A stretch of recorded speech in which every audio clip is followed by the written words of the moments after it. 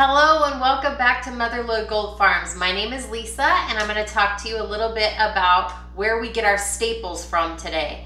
And although our family enjoys having milk and eggs, lots of fruits and vegetables, herbs, and honey that we grow here for our family, there are things that we simply order from other places.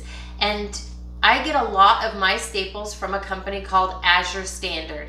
As a mom, it's important to me to provide my family with food that is non-GMO and organic as often as I can. And I really like that they have good, solid, good quality products at a really low price. It's convenient to order online and it gets dropped once a month at a local drop site near where you live. So it's pretty convenient. It's not a whole lot different than doing a Walmart pickup. Let me take you over to our computer and show you just how it works. Okay, I'm going to share with you guys just how I order my supplies from Azure Standard. It's very simple. You just go to Google, you type in Azure Standard. The very first link that you see here is actually a video all about how they got started um, with their family farm and what their belief system is.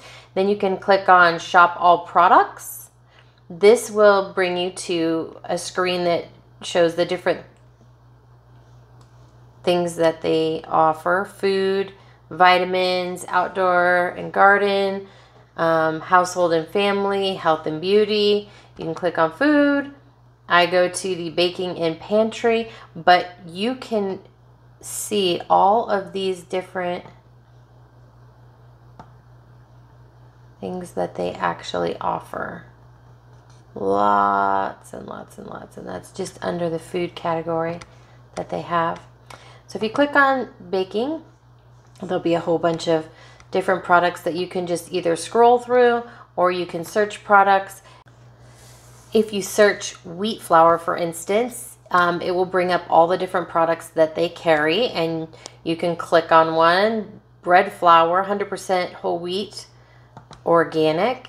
I use an absolute ton of this stuff. I make bread um, for my family and a lot of other bread products. And you can look and see here that they have a 28 ounce 5 pound 10 pound and it goes up 25 pounds and even 50 pounds. And as you buy a larger quantity the price per pound goes down. I picked up a 50 pound bag this week and it was 51.91 for the whole bag that'll actually last me a few months probably about three months give or take with the holidays maybe not so long um, and that's about a dollar a pound. And it's a really good organic whole wheat flour. Um, I feel really good about giving that to my family. This is the organic bread flour, the 100% whole red wheat flour. And I make a whole lot of bread products for our family. We do sandwich bread and French bread, different artisan breads, some rolls, tortillas, hamburger buns, all kinds of different bread products. So the whole wheat is something that I use a lot of. Sometimes I also um, use half and half. And this is the organic bread flour and it is the unbleached flour. So sometimes I'll use um, half wheat and half of the unbleached flour to make some of the um, bread products that we use a lot of here with our big family. I also picked up a five pound bag of non-GMO um, active dry yeast. Not all of our bread products actually require yeast, um, but there are a few that do. And then I also got a five pound bag of organic alfalfa seeds for sprouting.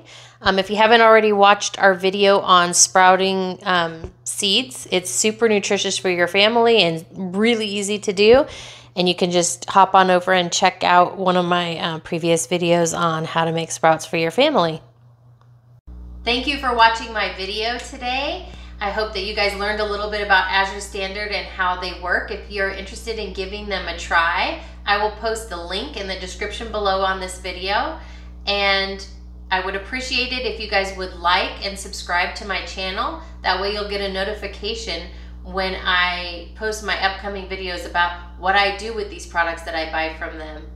Thanks a lot and have a great day.